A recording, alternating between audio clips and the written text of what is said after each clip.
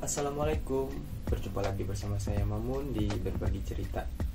Oke, jadi kali ini saya akan unboxing sebuah helm yang cukup murah, namun memiliki fitur yang lumayan wah. Helm apa itu? Oke, kita langsung buka aja ya.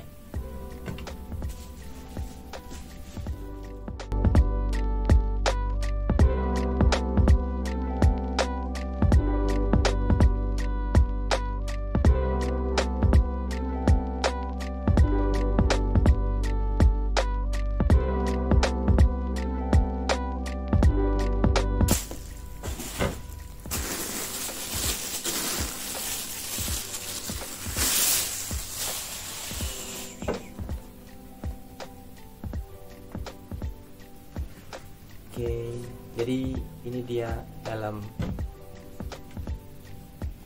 Carglass seri CK.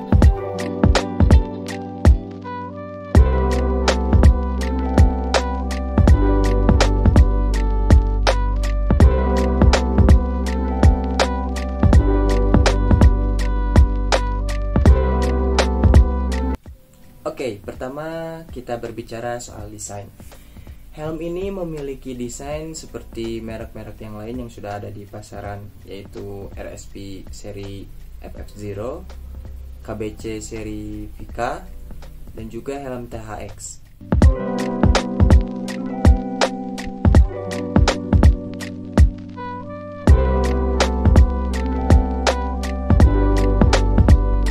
Oke, selanjutnya kita ngomongin fitur eksteriornya.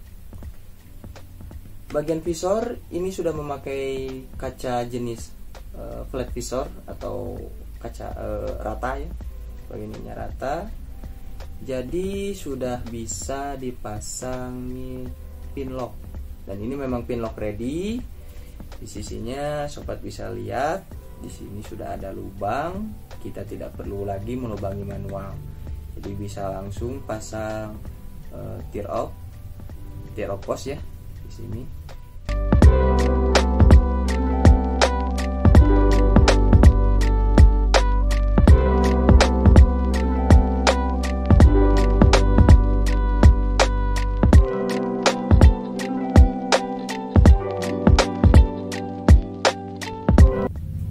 Oke, lanjut lagi. Sistem ventilasinya helm ini lumayan bagus ya, sobat. Di depan. Lalu di, di si bagian atas kedua ya digeser dan juga di belakang di sini ya. oke ada dua. Sistem penguncian visornya juga eh, terhitung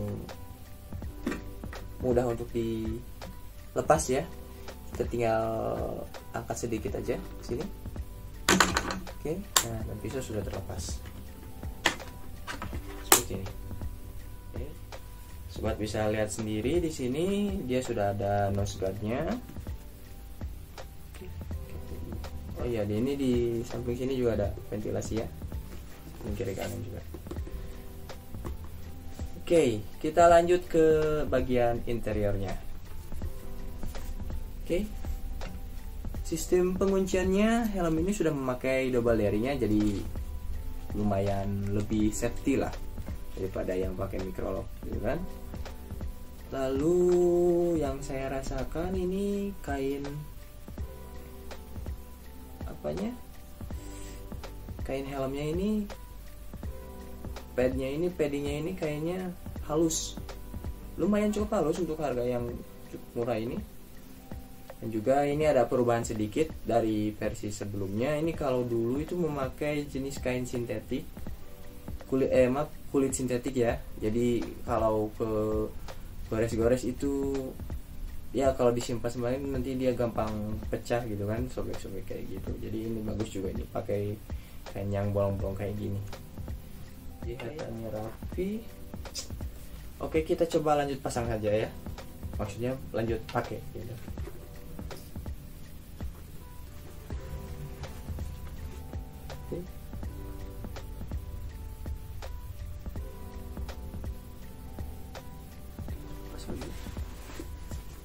oke lumayan cukup nyaman. Dan ternyata meskipun saya biasa memakai uh, M untuk di helm merek lain ternyata memakai ukuran XL di cargo Cargostica ini pas juga. Karena memang menurut info yang saya dapat sih jadi memang kita harus uh, naik uh, satu atau dua ukuran dari helm biasanya kebanyakan di lain. Oke. Okay. beratnya sendiri hanya sekitar 1400 gram ya. Jadi tidak terlalu berat di leher. Lalu busanya juga bisa dilepas pasang ya sobat-sobat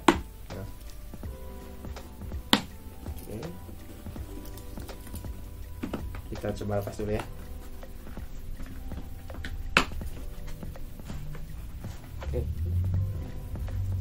Nah ini dia. Lepasnya gampang dia memakai sistem kancing plastik ini ya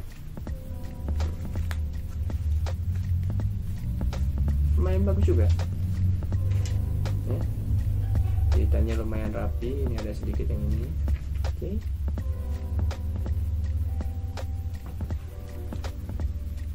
jadi sobat-sobat gampang nanti untuk mencucinya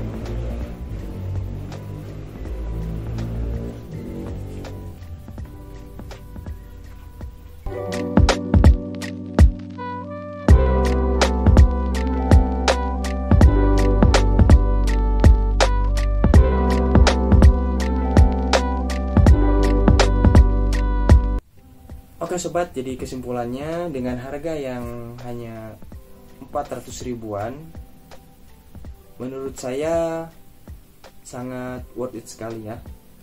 Dengan build quality yang lumayan bagus dan fitur-fitur yang diberikan itu lumayan banyak ya dibanding dengan merek-merek yang lain gitu. Jadi barangkali sobat-sobat yang ber apa ya punya pemikiran seperti saya kere hore Cargo CK mungkin bisa jadi pilihan untuk sobat-sobat semua. Oke sekian dulu cerita dari saya. Semoga bermanfaat buat sobat-sobat semuanya. Jangan lupa untuk subscribe channel ini Supaya saya semangat untuk terus berbagi cerita kepada sobat-sobat. Jangan lupa juga untuk like, komen, dan bagikan ke teman-teman sobat semua Terima kasih, saya Firman. Wassalamualaikum warahmatullahi wabarakatuh.